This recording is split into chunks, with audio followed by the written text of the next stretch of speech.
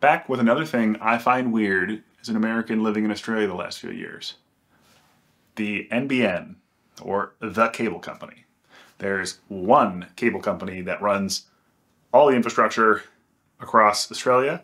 It's the National Broadband Network, or NBN.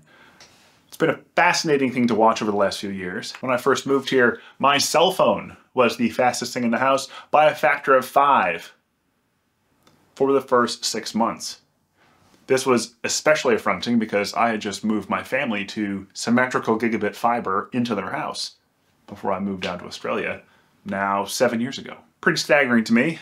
Eventually I did get on some sort of ethernet, which was faster, and by faster I mean it was 100 megabit down, 20 up or something.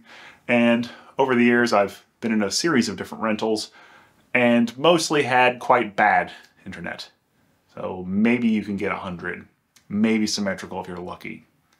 Just this year, I finally got on fiber, which has been good. Now I have 1,000 down, 400 up, but I had to go ask for that and move provider. If you've seen my electricity video, this video is super similar because there's a lot of retailers. So I really wish NBN would just run the whole service and the government would treat it like a public utility so it would just run neutral. It wouldn't try to make a profit. It would just run neutral like a utility. I maybe I'm crazy for thinking that, but you know, running it like a utility. So okay, we're gonna run it. We're gonna make it efficient, but not, you know, gouge the customer and then have them run all the infrastructure. Oh wait, they've already run all the infrastructure. So when you get with a retailer, you're literally just going and talking to a different switch in this massive rack of switches somewhere in the city. This doesn't seem super great to me, and I've been with a couple different retailers.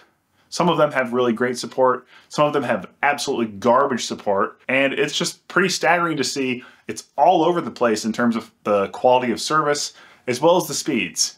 And I know for a fact that the first couple hops from me to them are exactly the same, regardless of which retail I'm with. So it just kind of blows my mind that the quality is so different, and I don't quite understand the value proposition of running all these different things instead of just running one good one. Do you have a better way to do this than the NBN system is set up?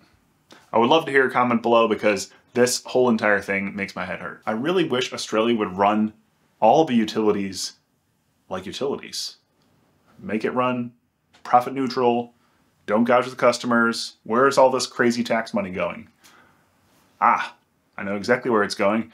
It's going into property, which I will point up to my video up here. Negative gearing and property. I suspect that's where a lot of the money's going, along with healthcare. Am I wrong? Just drop me a comment. Otherwise, we'll see you at the next one.